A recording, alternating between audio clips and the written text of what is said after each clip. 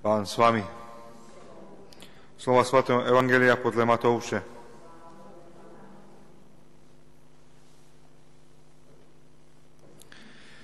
Učedníci prišli k Ježišovi s otázkou, kto je vlastne v nebeském kráľovství najväčší.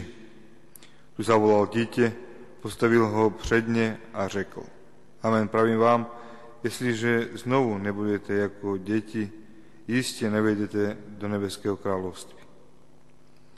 Sa tedy ponižuje ako toto dieťa, ten je v nebeském kráľovství nejväčší.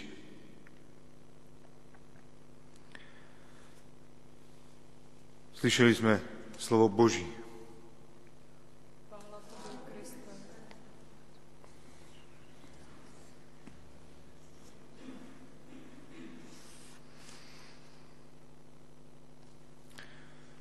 Milovaní bratia a sestry,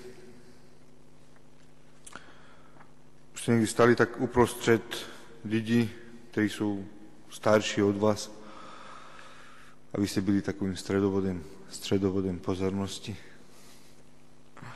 Myslím si, že není to nic příjemného. Pan Ježíš dnes ukazuje na dítěti, že opravdu je potřeba být jednoduchým, potřeba být opravdu takovým, že se spolehať spíše na Boží vůli, být pokorným. Protože tyhle cnosti jsou tím, co nás opravdu k Bohu víc a víc přibližuje. Učeníci přišli za ním s otázkou, protože chtěli vědět opravdu, jak to tam funguje v tom Božím království, jak to funguje v nebi. A Ježíš jim odpovídá velice jednoduše. Neodpovídá jim tak, jak oni se ptají, protože oni ptají si tak spekulativně. Oni chtěli by zaujat první místo. Ale Ježíš jim říká, takhle to nefunguje. Funguje to úplně jinak.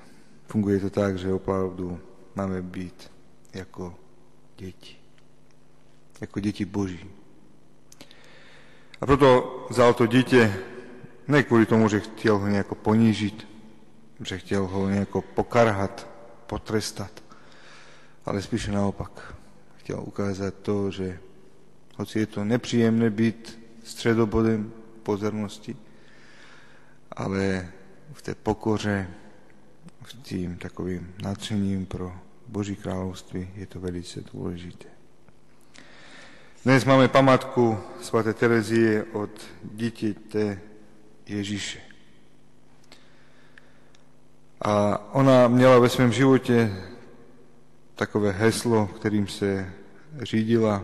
A to bylo to, že ona chce milovat Ježíše tak, jako ho nikdo předtím nemiloval. A v té lásce opravdu rostla. Pocházela z mnohodetné rodiny. Už jako 15-ročná vstúpila do kláštera, kde ji hodně tam zkoušeli, že či opravdu má to povolání žít v kláštere. Nebylo to nic pro ní příjemné, ale ona v tom vytrvala. Vytrvala kvůli tomu, že opravdu Ježíše milovala.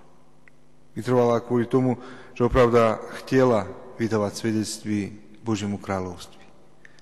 Vytrvala přesto, že nechtela byť v Božím kráľovství na prvním míste, ale opravdu chtela hořet láskou k Ježiši.